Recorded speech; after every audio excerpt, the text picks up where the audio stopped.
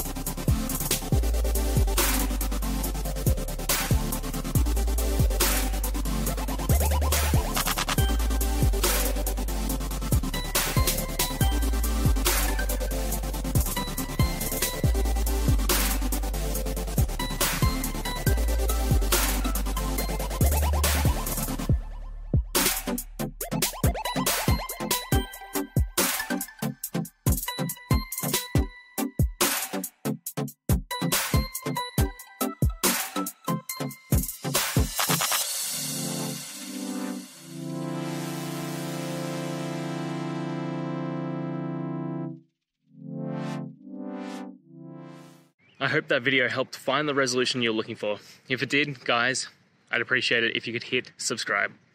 Until the next time that you need more technical help, I hope you have a good one. Cheers.